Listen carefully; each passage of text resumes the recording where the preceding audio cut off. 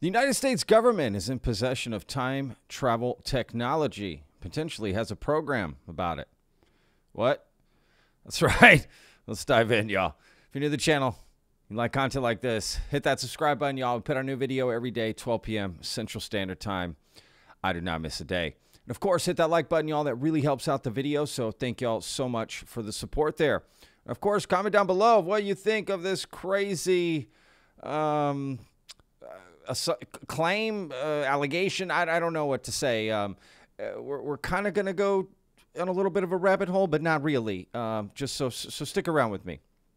Um, what am I talking about here, Patrick? Well, Jesse Michels just put out a new video. If you don't know who Jesse Michels is, he um, runs a YouTube channel called American Alchemy, although it might have been renamed to just Jesse Michels. And he famously, at least in the UFO community, just he did a big uh, interview with David Grusch did a release, I believe, over Labor Day. So it was after the hearing. Everyone was waiting for like this new, you know, interview with him after the News Nation, and it was great. People loved it, and he's kind of blown up in the community. Well, he's got a new video out talking about anti-gravity and something he's brought up a lot in different videos um, with the, especially with a guy named townsend brown all right now where how does this all fit together? Well, as I'm watching the whole thing, and first of all, it's phenomenal video. Okay, I'm gonna put a link in the description. Go check it out. It's like a, it's basically like a Netflix doc, documentary, y'all. That's the kind of videos he makes. They're absolutely amazing. I recommend them. Um, and this one was equally set the bar high. There's a lot of concepts to take in, and there's a lot of different um, points laid out through it, right? But one in particular at the very end is what really caught my eye. Um, and I'm going to show you guys that clip right now. And then I'll explain as we go. Oh, not that clip, but that's coming, y'all. Yep, another Patrick and Patrick moment. All right, here we go. My last guest, Diana Pasulka, an incredible religious studies professor at UNC Wilmington, writes in her first book, American Cosmic, about a member of a secret space program she codenames Tyler. It's Tyler, who's still a pseudonym um, for a person who is a mission controller and works in the Space Force. I've personally protected Tyler's identity in every interview I've done until now because this show isn't about doxing people, it's about substantive ideas. But at this point, his name is literally all over the internet, even in interviews with close to a million views. So I'll just mention it because it leads to maybe the trippiest connection I've made in this whole Townsend Brown saga. Tyler, from Diana's book, is a NASA mission controller named Timothy Taylor. Taylor wrote an autobiography in March of 2003 called Launch Fever. Before anybody knew who Taylor was, in 2014, Townsend Brown's daughter, Linda, wrote a review of Taylor's book. She writes, an engineer's firsthand experience of what it means to be a part of the space program, a charming legacy to his daughter and all of us. So what is Tim Taylor's connection with Townsend Brown? Well, the son of frequent UFO experiencer and personal friend of Tim Taylor's, Chris Bledsoe, had some interesting things to say about the topic on Twitter. He wrote that Tim Taylor personally told my father he was in an elite group called the Nassau Group, headed up by T. Townsend Brown. Also insinuated they had time travel technology. So, what is Tim Taylor's connection with Townsend Brown? Was Brown the chief architect of a secret parallel space program? Townsend Brown had a, a UFO experience in Catalina as a teenager. Is that right? Yes. Yes, and I know the exact spot he was where he was standing. I used to ride my horse up that ridge. It approached him. It actually approached him. And and he said that he learned so much standing there with that ball of light that he went back to his which at the time was he had a lab in Pasadena. It was funded by his parents. So he had his own private lab. And he said he went to work immediately. And he worked, that was, that was the beginning of his life's work. And he said that everything that he ever learned about his work, he learned instantly. Wow. Everything. Physics has sadly not produced any forward progress over the last 50 years. Even the top string theorists are finally waking up to the futility of their abstract math. This leads us to our next point. Unorthodox thinking does not scale with IQ. Unfortunately, a bunch of really smart physicists have been led like sheep to slaughter into the wrong frameworks, and as a result, they've contributed nothing to society. Academic Wow.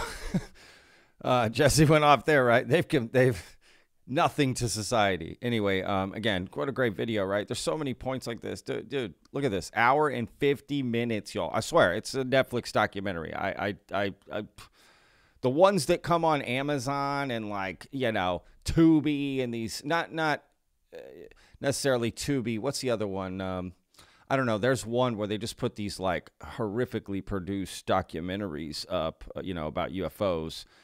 Here you got Jesse Michels just putting out like pff, amazing content.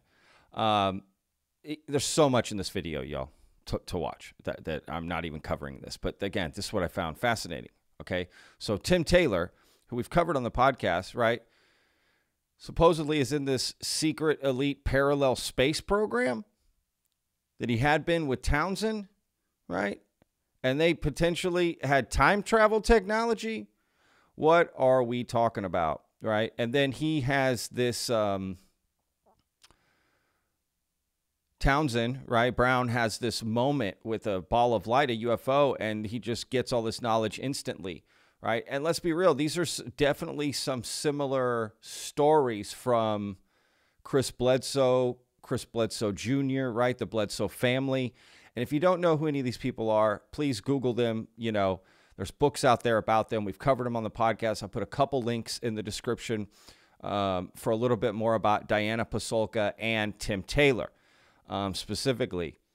And yeah, um, so let, let's move on to something else that Chris Bledsoe has said.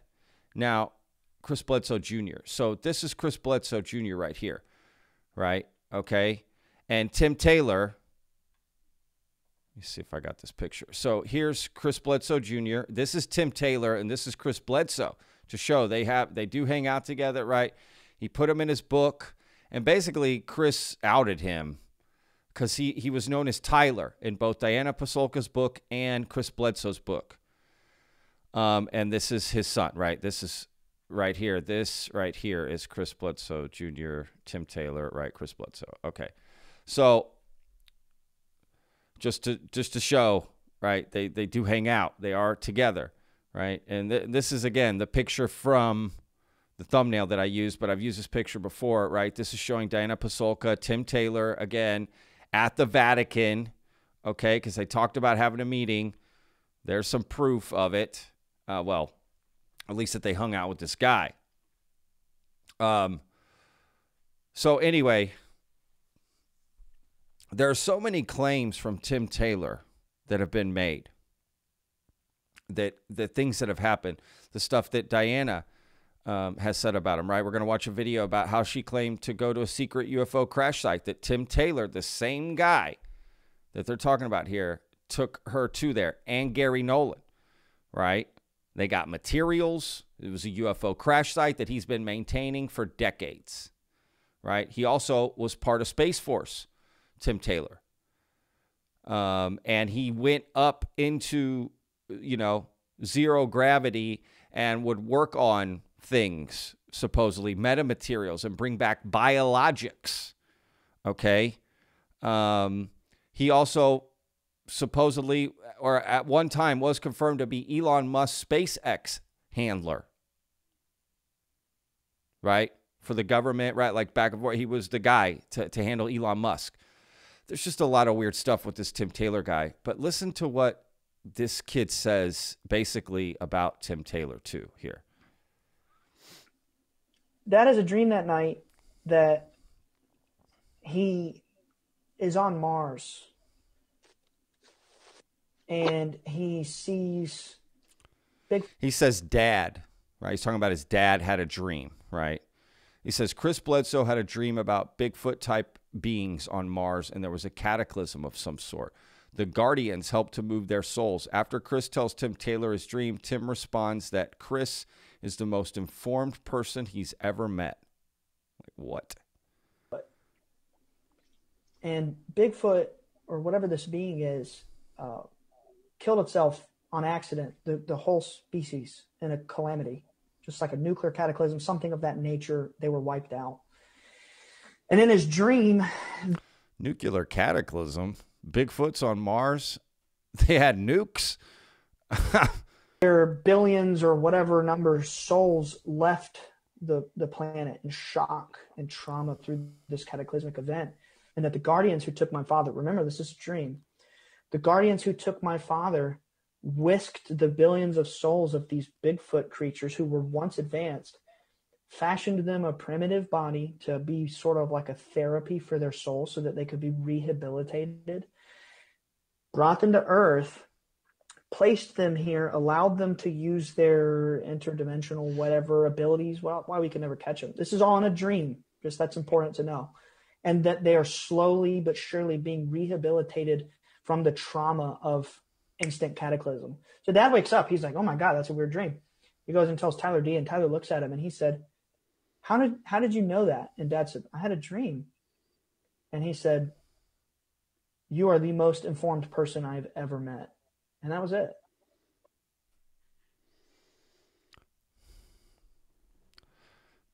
I mean, what? I don't, I don't even know what to say to that. Um, is this Tim Taylor guy really saying these things to these people? Like, does he really believe all this stuff? I mean, I'm so confused. It's fascinating. I'm not saying that can't be true. I'm just saying, I don't know. What does that mean? He's the most informed person. Like, how did you know that? How did you how did you know about big advanced Bigfoots on Mars that died in a nuclear blast and then were re- their souls were rehabilitated? How did you know that? Like, just seems odd thing to say, right? It almost seems like Tim is playing with them, if that's a real story. But I don't know, right? That seems dubious and like, yeah, suspect, right? Suspect. I don't know. Again, here they are hanging out together, right? Looks like the rich uncle came over, hanging out, right? Like, um, and these two guys seem like good guys. I have nothing against them, right? Just telling stories. And this guy, I don't know. I don't know what to make. All I'm saying is, right, he was supposed to potentially in this program, parallel space program, right, that have time, time travel technology. He's also taking uh, where they worked on anti gravity, right, a secret space program potentially with time travel technology. Um, he's meeting with these guys, telling them they're the most informed people he ever met because they know about the, the nuclear cataclysm on Mars with the Bigfoot, advanced Bigfoot creatures um, who are interdimensional beings. Um, right, souls, bringing up souls.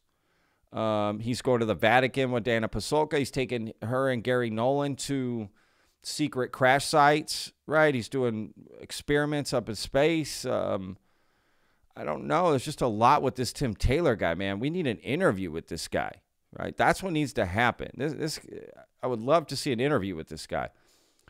But let's watch this clip of Diana talking about this secret UFO crash site visit as well. And here, uh, you know, a little Patrick and Patrick for y'all today. Not as meta as yesterday's Patrick and Patrick and Patrick. But eventually we'll get to Patrick and Patrick and Patrick and Patrick and Patrick. I don't know. I'll try to do some like infinite Patrick. That that doesn't sound good for anybody. Let's be real. All right, here we go, y'all. Folded. We get out to the site. We get out. Listen to what she said. Hang on. AirTag. We're blindfolded. We get out to the site. We get out.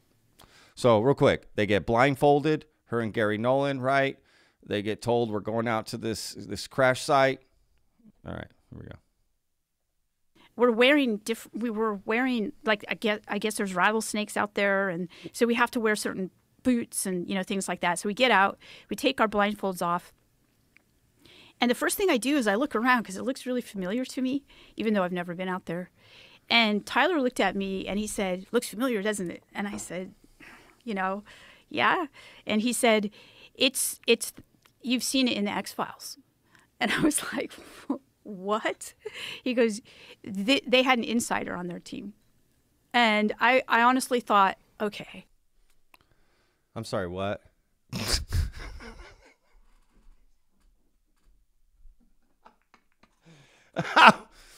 Patrick, you took the words out of my mouth. I'm sorry, what exactly? So, again, I'll put links to all of this. Go watch these videos.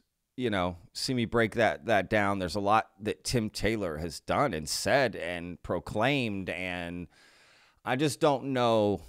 Right, it hasn't directly come from his mouth. So to be fair to Tim Taylor, right, these are other people telling his story. Now, it's out there in the internet, and he's not like trying to correct it in any way. So I don't know. I don't know, but it's used at X Files, right? X Files episode. I'm pretty sure I found the the ep- episode with the help of the vetters, right? They they in this video, in fact, I believe they someone found it, right? There was a whole thread about it. So shout out to the vetters who did all that work. I didn't do that. Um, I watched that X Files episode, and um, it was in the very first season. In my opinion, it was because some people are arguing over which one it was, but the the very first season of uh, the very first episode of the very first season back. You know when when they left and then they came back. Right, uh, it's got Joel McHale in it. Um, anyway, it's like it's about alien reproduction vehicles and there's some crazy stuff in it, but it starts off with a UFO crash um, in New Mexico and they show and they're at there and it makes me think like, is that what they found? Was just pieces left over from the set. Because when you see the set and how it's laid out, it's it's it looks like a real UFO crash there, right? And there's all these pieces laying around, and maybe they didn't get it all. I've I've been on movie sets before. I've been an extra in in uh, some movies. You know, I I was an extra in Lady in the Water, M Night Shyamalan's movie. When I used to live in Philadelphia. Um, and stuff gets laid laid. You know, dude, it's, it's crazy the the stuff that can be left behind after a movie. Um, I did a Bollywood film at the Philadelphia train station uh, for a few days. I was an extra in this Bollywood film. It's awesome. Um, shout out to my Indian um, fans out there. Yeah, amazing experience. But anyway, like the way they take over, but the way they leave, some stuff just gets left behind. And if you're out there in the desert, right, like filming on location, all this dirt and rocks and all this stuff, and there you, you see all the little pieces of the set, right? Um, there's even behind the scenes footage of that. I'm not saying that's what it is. I'm just saying you know, why would they use it in an X Files episode? Like, because they later state that they had an insider. The X Files had an insider. Was it Tim Taylor? He told them use this, and then you know, I don't know, man. I'm just saying this Tim Taylor guy is like at the center of a lot of crazy stuff. And then when you watch the Jesse Michels interview, or an um, episode, you know, whole video of it being about anti gravity, basically that had been suppressed right, from this guy named Townsend Brown, and how his technology, parts of it are being used, um, but that, you know, it got suppressed and doesn't, you know, nobody wants to recognize him. So I don't know. Um, it's fascinating how he weaves it all together, and even the part about like Bob Lazar uh, that's in there. It's it's quite fascinating. I'm probably going to make another video on that part of Jesse Michels' documentary. I'll call it. Right. I mean, that's a documentary. I don't know what else to tell you. Um, that's just not like a normal YouTube video. This is a normal YouTube video that I'm making, right? Like not what Jesse Michels is doing. That's on another level, y'all. Um, but fascinating, right? How it all connects, and then he brings it back to Tim Taylor, right at the end, like that. Again, there's just it's crazy. This stuff is crazy. Like could it be true? Yeah. I mean, there's no question that some of these stories you hear right off the bat, you're just like, what the? Like, why? Because of your reference you have every day. So I'm aware of that bias. Granted, it may be reasonable bias, right? But still, it's there. And if you would ask me, you know, thousand years ago, if I lived like, oh, there's this whole microscopic world you know, in your body and just, you know, whatever, right? Viruses, diseases, little th- little little bug, you know, bugs and whatever. Like, okay, get out of here, dude. What are you talking about? You know, blood, red blood cells, white blood cell, right? Like the way you, we can get like microscopic, right? I mean, just thought that's crazy because it's a whole nother world in that, right? Um, so I get it. It can seem outlandish. Um, so I don't know. I'm just fascinating to see it all put together. But I don't know about y'all, man. But I would. Uh, this video is basically just about Tim Taylor, man. Like we need to get an interview with this guy. We need to find out more about this guy. I want to know more. I don't know about y'all. So anyway, hope y'all enjoyed the video. Uh, we'll see you guys tomorrow on another episode, 12 p.m. Central Standard Time. Thank y'all better so much for watching. Remember, y'all, every day's a gift. Peace.